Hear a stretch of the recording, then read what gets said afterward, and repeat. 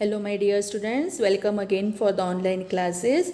Today we will continue with the same lesson but the topic is who were tribal people. Now children, today let us see in the first introductory lecture we have studied about how the tribal people and the communities settled. Now let us today let us see who were the tribal people. Contemporary historians and the travelers give very scanty information about tribes. A few exceptions apart, tribal people did not keep the written records, but they preserved rich customs and oral traditions. These were passed down to each new generation. Present day historians have started using such oral traditions to write the tribal histories we do not know much about the origin and the history of the numerous tribes in India. Because we do not know we do because we do not have the sufficient archaeological records. But the tribes preserved their rich custom and the oral traditions which were passed through the generations now, historians have also made use of these oral traditions to construct, to reconstruct their histories. Moreover, they did not have any written records also. Now children, see the next paragraph what it says that the tribal people were found in almost every region of the subcontinent during the early the area and the influence of a tribe varied at different points of time.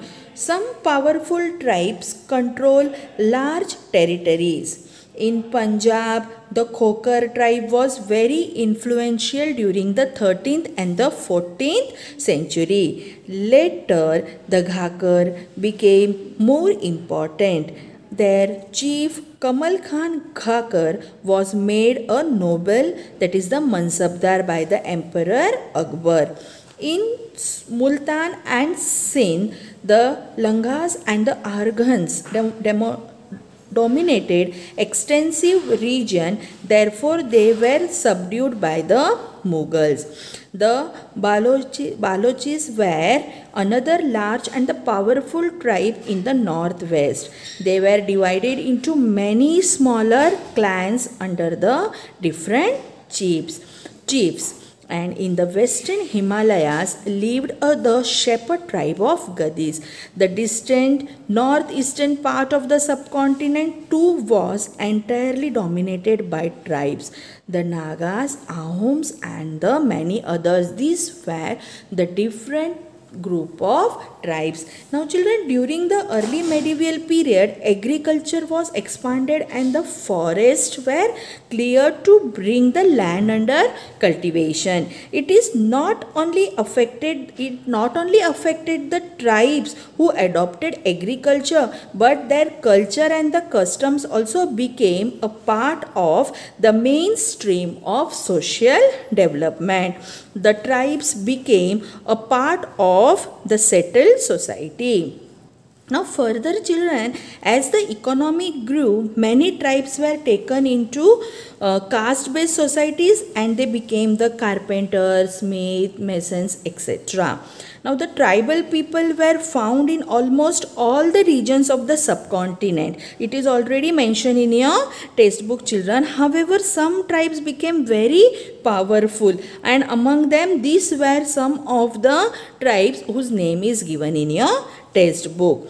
Children, the uh, later the uh, Ghakar, Ghakars became more important so much that the Kamal Khan Ghakar was a main Mansabdar who was made by the Emperor Akbar.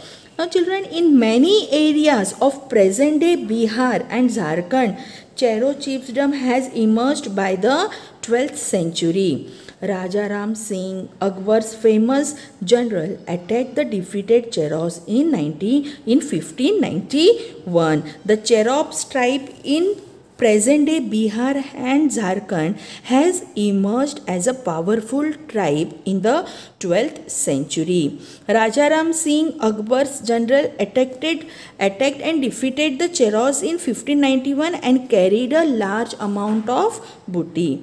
Under Aurangzeb, Mughals forces captured many Cheros fortresses.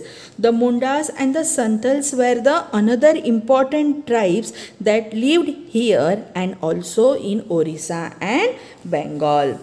The Maharashtra highline, the Maharashtra highlands and the Karnataka were home to the Kolis.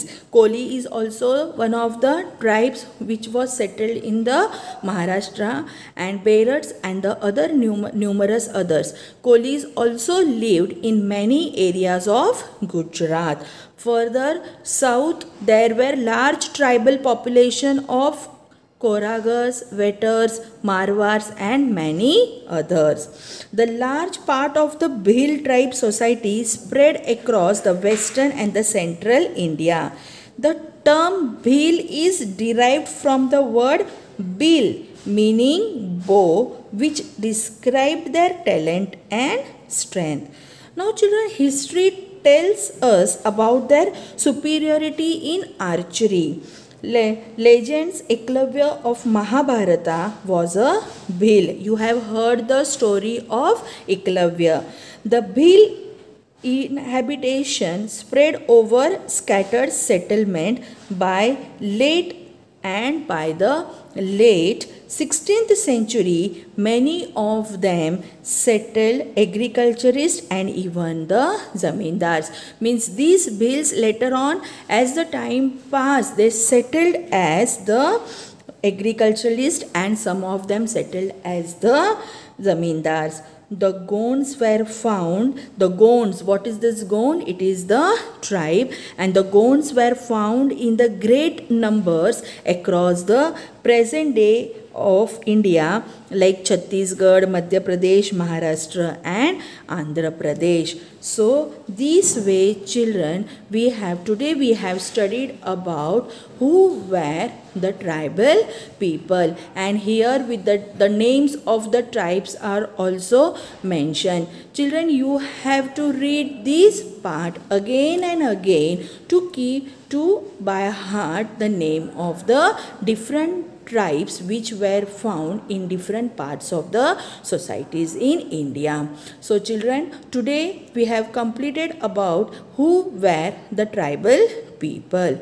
So read the points thoroughly from your textbook and try to understand the concept. Thank you.